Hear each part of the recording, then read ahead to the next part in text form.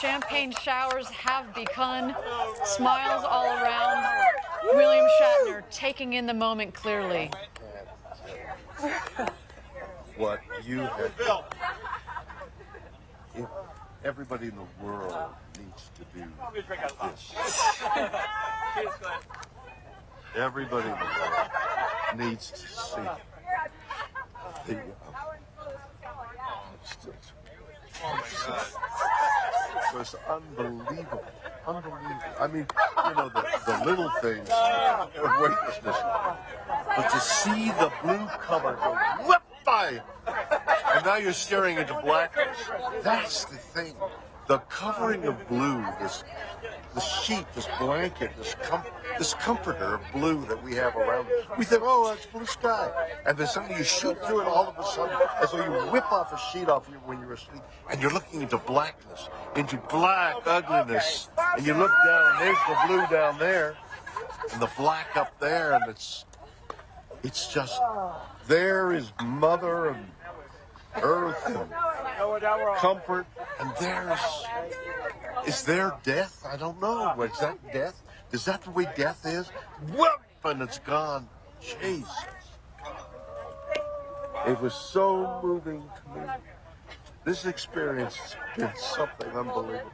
You see, yeah, you know, uh, weightless, my stomach went up, and I thought, God, this is so weird. But not as weird as the covering of blue. This is what I never expected. Oh, it's one thing to say, oh, the sky and the thing and the fragile. Th- it's all true. But what isn't true, what, what is unknown until you do it, is there's this pillow, there's this soft blue. Look at the beauty of that color. And it's so thin. And you're through it in an instant. It's what a. How, how, how thick is it? We know. The atmosphere. Is it a mile? Two No, miles? I mean, it's, I mean, it depends on how you measure because it thins out, but maybe 50 miles. but you're going Yeah. 2,000 miles an hour. So you're through 50 miles at whatever the mathematics fast. Yeah, are. really you know, it's like a beat and a beat, and suddenly you're through the blue. And And you're into black.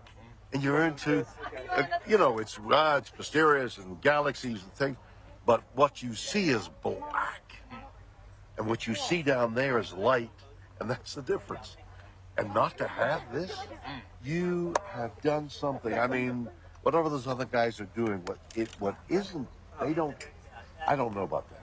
What you have given me is the most profound experience I can imagine. Uh, I'm so filled with emotion about what just happened. I, I just, it's extraordinary, extraordinary.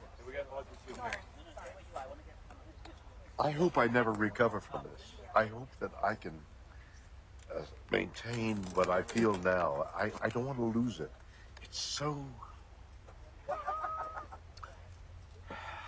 it's so much larger than, than me and life. And it hasn't got anything to do with the little green planet, the blue orb, and the, it has nothing to do with that. It has to do with the enormity and the quickness and the suddenness of life and death and the, my